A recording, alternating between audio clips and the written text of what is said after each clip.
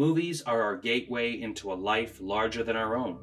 It is a peek into the life of someone who, more often than not, will go through a dilemma and be changed by that dilemma by the time the story has wrapped up. But the story being told isn't always so cut and dry. In fact, it'll often leave you with more than a few questions that you'll be asking yourself long after the credits have rolled. Questions like What was in the briefcase in Pulp Fiction? Is Deckard a replicant? And what the fuck is happening with literally anything in The Shining? But there's one question that stands above the rest. A question that has been aggressively debated on for nearly 30 years and has shown no conclusive answer by anyone who dares to try and solve what is possibly one of the greatest questions in all of cinema. Well, all that changes today because after countless hours of research, meditation, going to film school twice, and selling my soul to a Spencer's employee, don't ask, I believe I can finally answer the age old question Is The Nightmare Before Christmas a Halloween or Christmas movie? Let's find out.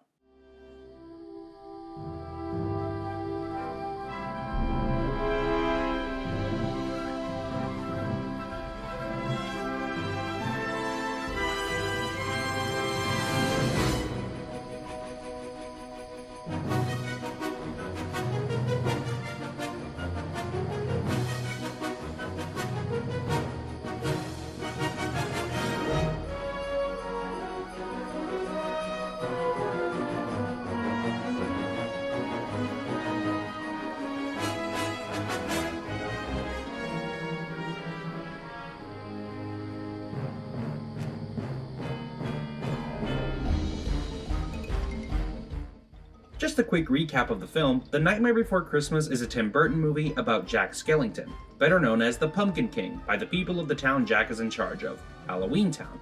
For many years, Jack has been in charge of the holiday that we all know as Halloween, but has grown tired of the same old thing, scaring people, year after year after year. despite being praised as the best of the best in terms of scaring by everyone in Halloween Town, Jack decides he wants more out of life, and after stumbling across a magic door in the forest, he ends up in a little place known as Christmastown. Here, Jack finds what he thinks he's looking for, and after doing some digging, decides that he wants to start running Christmas from now on. But after nearly ruining Christmas for the entire world and having an epiphany, Jack realizes that Christmas just isn't for him. And after defeating his enemy and getting the girl, Jack is now content and finally accepts his place as the Pumpkin King. It's a beautiful, heartwarming ending. Kind of you know rushed a little bit, but you know beautiful nonetheless. Nowadays, the debate as to whether or not The Nightmare Before Christmas is a Christmas movie or Halloween movie is about as synonymous with the film as Jack Skellington is. And when I say debate, I mean violent argument. Seriously, you should see some of the online discussions about it. It's more insane than you think. And the worst part is, the fan base for this movie hasn't really reached a definitive conclusion as to what holiday this movie is truly representing. But I can't really blame them, as it's not really so straightforward. I mean, is it a Halloween movie because most of the characters are monsters who live in a place called Halloween Town? Or is it a Christmas movie because that's the holiday that Jack is ultimately trying to take over? Well, I'm pretty confident I have a definitive answer to the question, but in order to answer it, we first have to establish what makes a movie about Christmas or Halloween. A lot of people, both ironically and unironically, believe that in order for a Christmas movie to be a Christmas movie, all it needs to do is take place during Christmas and not much else, really. The prime example of this is when people say that Die Hard is a Christmas movie. It's an argument that I absolutely despise the taking place during the holiday part, not Die Hard. But I do hate that argument too. I don't care what anyone says, Die Hard is not a Christmas movie. I don't believe that just because a movie has a certain holiday in it means that that movie is about that holiday. By that logic, Sam Raimi's first Spider Man is a Thanksgiving movie, or Steven Spielberg's E.T. is a Halloween movie, or the first Harry Potter film is a Christmas movie. It takes more than just one scene to make a movie about a specific holiday. Take, for example, the movie Elf. The movie starts off on the North Pole. It has Santa Claus, and as the title states, the movie is about a Christmas elf. But what makes it a Christmas movie isn't the setting, it's what the protagonist, Buddy the Elf, does throughout the movie. Using his love for the holidays and eagerness to spread the joy of Christmas, Buddy humbles the characters he meets throughout the movie, ultimately turning them into better people using the power of Christmas spirit. Santa! Oh my god! I'm singing! I'm in a store and I'm singing!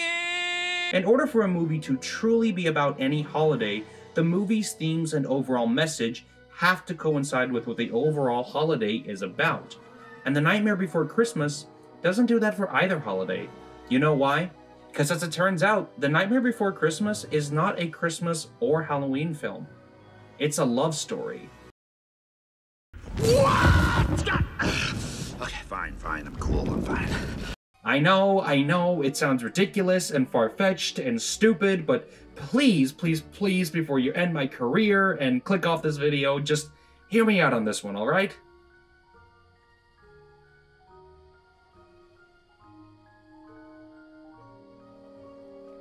Now, I'm not saying that The Nightmare Before Christmas is a Valentine's Day movie, nothing like that. What I mean is that the story mainly focuses on the aspect of love. Think about it. One of the first things we learn about Jack is that he no longer has any kind of love or enjoyment for his role as the Pumpkin King, and would gladly take something else should the opportunity arise. And that's exactly what happened. But I think it's very likely that even if he'd fallen down a different door in the forest, he probably would have had the same reaction he had in Christmastown because it's different from what he knows. Jack is so dead set on finding something new that he actually deludes himself into believing that Christmas is his new calling, constantly ignoring the warnings of the mayor, Sally, and even Santa Claus himself. A delusion that ended up getting him shot out of the sky and nearly ruining Christmas, all because he had no love for what he is meant to be, the Pumpkin King. But it doesn't have to be just that either. By the end of the movie, Jack learns that, in a way, he can actually have both, and the people of Halloween Town subsequently accept Christmas in their own ways, whereas Jack only saw it from the perspective of a man who is desperate and will take the first opportunity he can to get out of doing his job.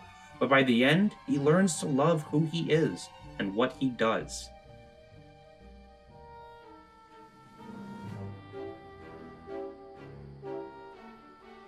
Jack Skellington, however, isn't the only character in the film who struggles with the concept of love. There is another character who arguably has a harder time with it than he does, and that character is none other than Sally. We see in the film that Sally lives a very sheltered life because of her creator, Dr. Finkelstein. Sally wants to break free not just from the literal barriers of her life, but the metaphorical ones as well. She wants to express to Jack how she really feels about him but can't do it because she just doesn't know how. But one thing Sally does know is that she's in love with Jack. And it's not because of his status, but it's because she sees herself in Jack. Like Jack, Sally feels restless and trapped in a life that she didn't really ask for. And both have their feelings disregarded constantly in spite of their very obvious misery. And while it's not fully explained as to why Jack loves Sally, it's more than likely because Sally actually aided Jack in his journey to finding something new, as seen when she brings him the ingredients for his experiment. This clearly means something to Jack, as Sally is the first person who doesn't outright dismiss his feelings or praise him solely for his status as the Pumpkin King, but instead, she accepts Jack for who he is on the inside, instead of just some idol who should be worshipped a sentiment that Jack has very clearly lost interest in. Interestingly enough, Sally is a character who not only feels the absence of love, but also exists because of it. We later find out that the reason that Dr. Finkelstein is so frustratingly vigilant of Sally's whereabouts all the time is because he created her so that he wouldn't be lonely anymore. Sure, he's in the wrong for keeping her on such a tight leash, but he only does so because he has no one else in his life. That is until the end of the movie where he builds a wife for himself, someone who will always be by his side, someone who will never leave him, someone who will always love him. Once that happens, he couldn't care less about what Sally's up to, inadvertently setting her free, allowing her to do what she wants, because he too has finally found love. The film also brilliantly shows the other side of loving something, almost to a fault, as the citizens of Halloween Town love Halloween so much that not even a full day passes before they start preparing for next Halloween. To them, there's nothing outside of Halloween, not even the possibility that the man they all love and admire wants nothing to do with it anymore. It's possible that this constant feedback played a part in Jack losing all interest for Halloween. This idea also applies perfectly to Jack, as he becomes so in love with the idea of taking over Christmas that it takes nearly getting himself killed to realize that Christmas is not his show to run. And going back to Dr. Finkelstein, we know he loves Sally deep down, but as a result, she's sheltered and has little to no freedom for most of the film because of it, like Jack. I love how the movie shows us that love isn't all sunshine and rainbows, but it can also be toxic and harmful even when there's good intentions behind it, it's surprisingly adult and is a pretty profound message for what a lot of people say is just a kids movie.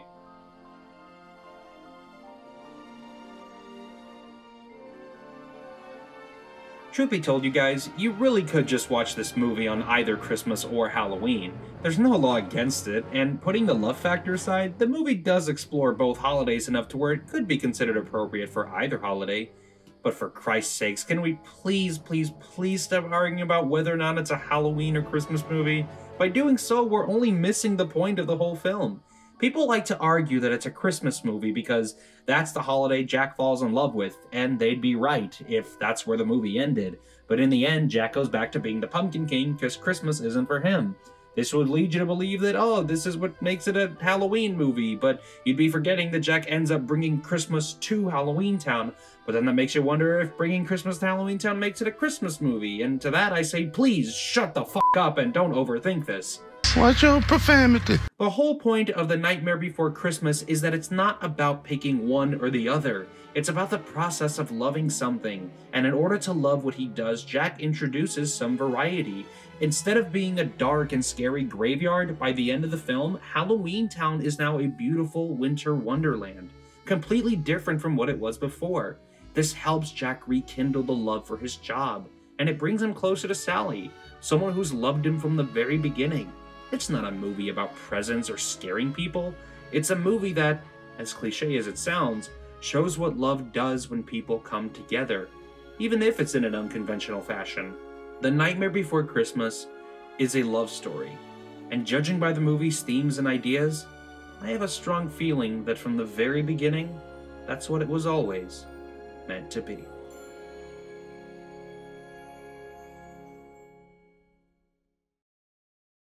Thank you guys so much for watching, and if you liked this video, be sure to give it a thumbs up and leave me a comment letting me know what you thought. If you want to see more videos like this, then be sure to hit that subscribe button and click that notification bell to be notified every time I upload a new video.